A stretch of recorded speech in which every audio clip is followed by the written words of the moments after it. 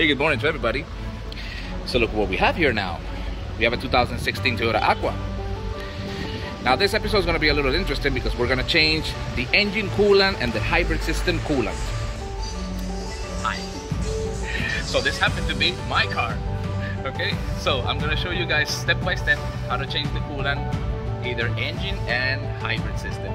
And I'm using this time the Motul, right? So you want to know, stick around and then we will continue that.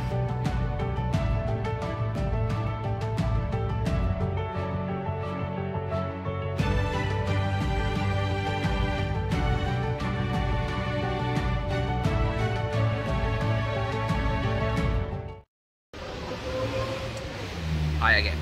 Okay, so before we put the vehicle on the lift, let me show you what are we gonna use. All right.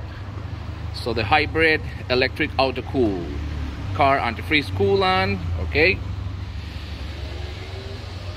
Well, this one happens to be my personal opinion and experience working with lots of these vehicles uh, with all my customers. One of the best coolants to use although there are many obviously if you're using Toyota you could use the original one the uh, the original long life Toyota you can use the Zerex which has the a nice coolant also uh, suitable for hybrid. But I like the mod the, the Motul right? So let me just put the vehicle in the lift and start draining coolant from the engine and the hybrid system. So we will continue then. Okay so obviously before lifting the vehicle I took out the radiator cap and the hybrid reservoir cap. Now, take a look at my point. You see that pink sugar? That's coming from the original coolant, you know, right? Which is telling me that in time, not so much about mileage, this vehicle only has about almost 60,000 kilometers but years. This vehicle is 2016, the end of 2015. Yes, it begins to form this sugar that begins to enter the seals. So we have to avoid that at all costs. How? Well, about five years or 100,000 kilometers, depends, comes first. Now, usually the original coolant is designed to be about 150,000 miles. However, this little sugar over here and this small little gaps between them telling me that that is not so true so I would strongly recommend it to change at least I would say five years or 50 60,000 kilometers probably okay so we will continue then okay as you can see after removing a few screws I'm taking out this the left uh, dust cover so I have access to drain this one is to drain the uh, hybrid system. And let me see. We got this one to drain the radiator one. Remember, this is the bottom of the radiator because this one over here in the Toyota Prius, Toyota Prius C, and this one is the Aqua, they're the same vehicle. The radiator and the hybrid radiator are just one single unit, but in different the radiator is the hybrid is below and the normal radiator is on the top so this will be the drain for the engine coolant and this one is the drain for the hybrid system so let me just open it and completely drain it let's continue that now she's not making pee pee okay so this one is the hybrid system okay coming directly under the coolant pump.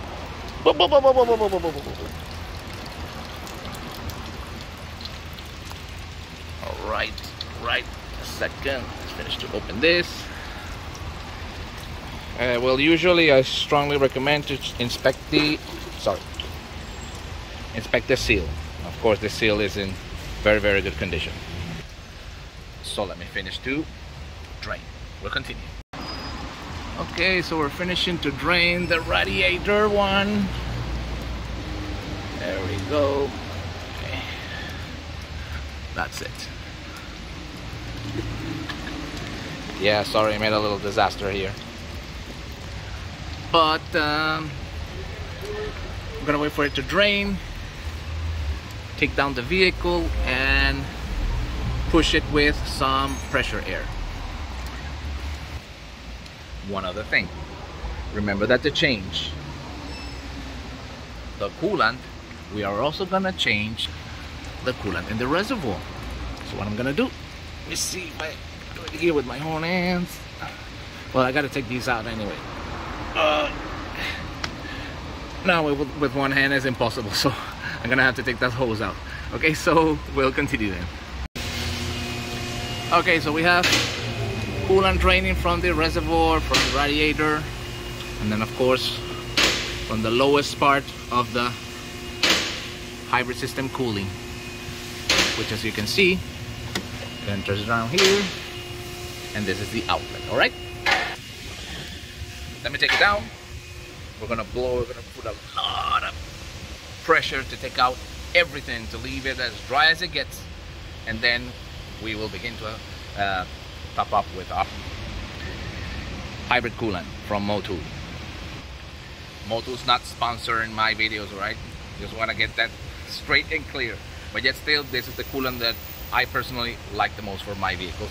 And then of course, recommend it for my customers. So, we will continue that.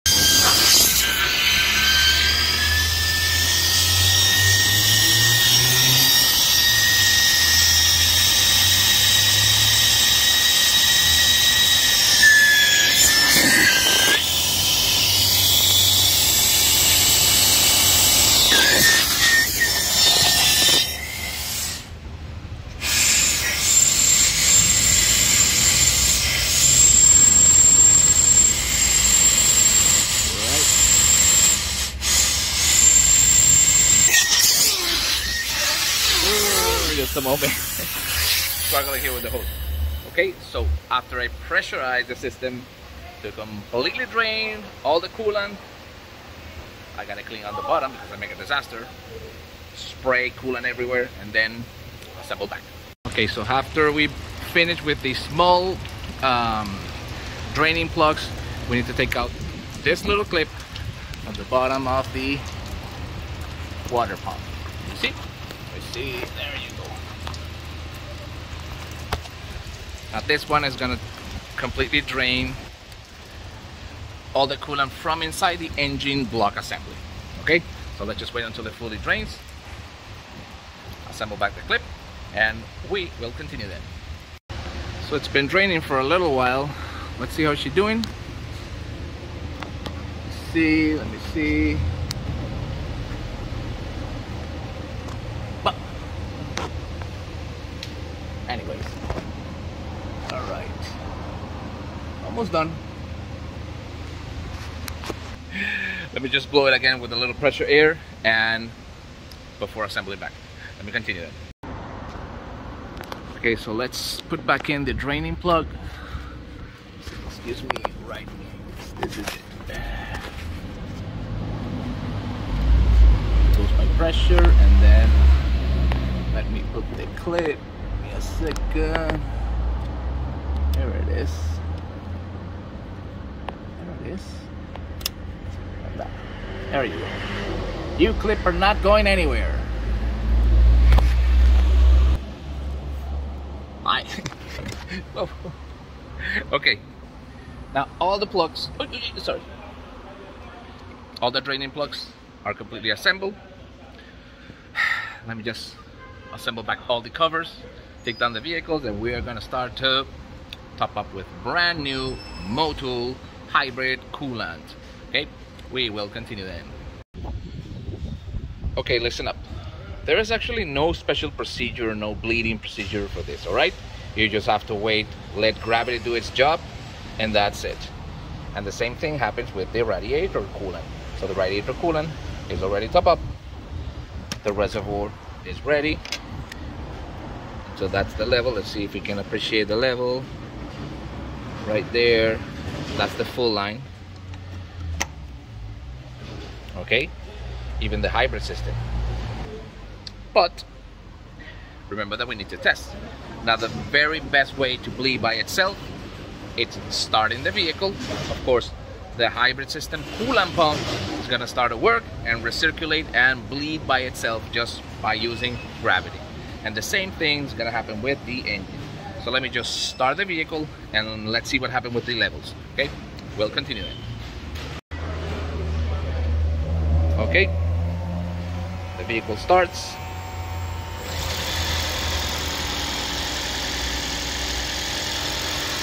See what happened with the coolant and the hybrid system.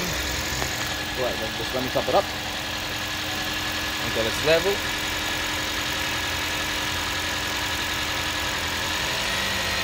The radiator too, of course.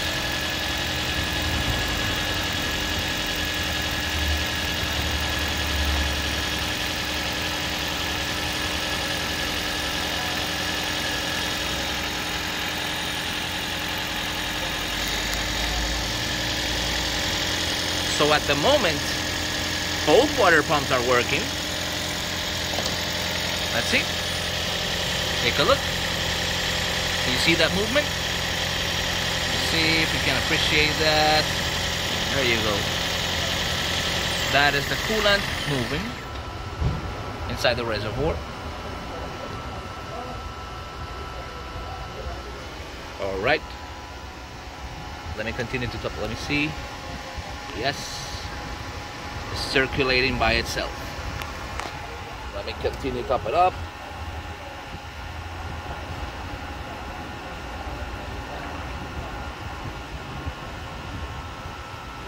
Let's give it a chance.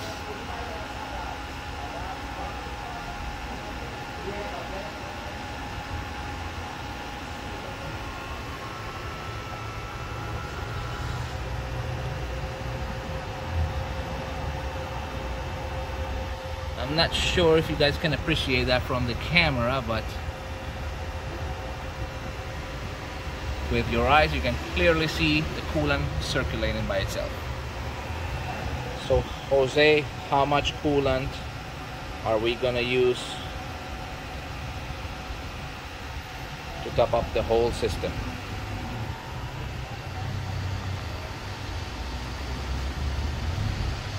Five liters, approximately. This applies to the Toyota Aqua, Toyota Prius C, Toyota Fielder, Corolla Axio, Toyota Yaris, Toyota Vitz, Toyota Sienta. All right. Well, we could say it's, we could say it's fine. Took exactly five liters. Right. see let me turn off the lights see if you can appreciate it oh yes now you can appreciate this I'm still pumping anyway the hose just to see if we get by chance some air and nope nothing is happening. you can just clearly see the coolant circulating in the system. And it's on its level. So what we're gonna do? Assemble back its cap. Fully clean. I already took up the sugar annoying stuff. And the same thing we're gonna do to the radiator. There we go